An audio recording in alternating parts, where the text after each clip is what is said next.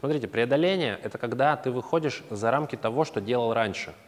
То есть я, допустим, не знаю, там 100 покачал 2 минуты, а тут я сегодня делаю 2.15. Преодоление, то есть я вышел за рамки, скажем так, привычного.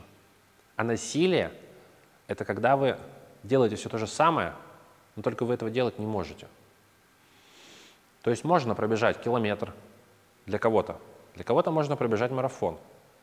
Но для кого-то пробежать километр или пробежать марафон, а потом пойти пить чай, а для кого-то это значит умереть или лечь в больницу эдак на месяц с истощением. То есть, понимаете, да? Одни и те же результаты, казалось бы, ну, в чем разница? Мы же сделали.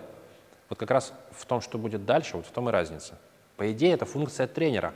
Подпинывать тебя к преодолению и сразу же ограничивать там, где есть насилие. То есть там очень такой узкий диапазон. Вот это ты можешь и сможешь завтра. А вот чуть дальше ты уже можешь, но, но завтра не сможешь. Нам такой тренинг не нужен. По идее, так должен был сказать тренер. Спрашивается, где таких найти? Учиться чувствовать свое тело. То, на что мы тратим столько времени. То единственное, что гарантирует вам здоровье, если мы говорим про позвоночник и суставы. Вы должны хорошо это чувствовать. То есть я, например, чувствую суставы, связки точнее, вокруг них отдельно, мышцы, скажем так, отдельно, и плюс я еще даже немножко чувствую кости, потому что надкостница тоже имеет чувствительные рецепторы. Ну, до такого уровня можно не доходить, можно сделать несколько базовых рефлексов через упражнения, которые я даю, наработать в себе. И после этого вы понимаете, что, скажем так, 2 километра бега – это уже хорошо. Два с половиной вы еще можете, уже дыхание срывается – и в определенный момент включается в голове красная лампочка. Вот здесь я не могу, все.